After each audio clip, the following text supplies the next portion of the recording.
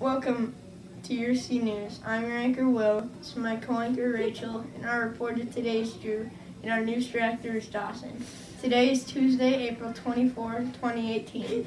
It is a week two, day five. Stay tuned for today's announcements. Attention second, third, fourth, and fifth graders.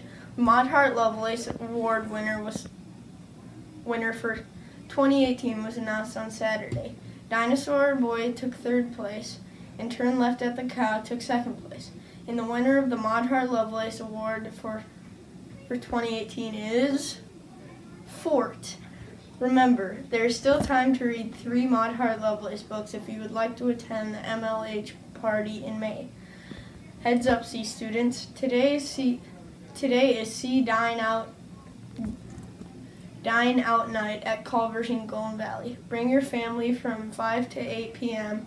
and 10% of the money will come back to help us at SEA. Now over to Rachel.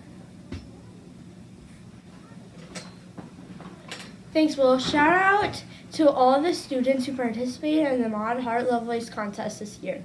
We made many SEA students that read three or more Maud Hart Lovelace nominees. Way to go, awesome readers. Now over to Drew for the birthdays.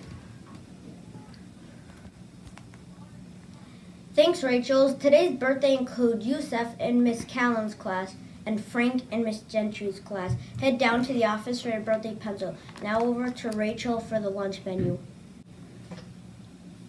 Thanks, Drew. Today's lunch is pasta with meat sauce, chicken Caesar salad, veggie salad with dinner roll, and a sandwich choice. Over to Drew for the weather forecast.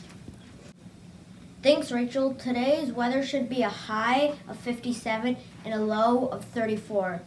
Cloudy and cooler. Please stand for a pledge. Today's pledge is the pledge to myself. This day is fresh and new. I can either make it a good day or a bad day. I promise myself I shall try my best to make it a good day. I am the only one who has the power to decide what kind of day it will be. I make myself what I am. We'll see you later.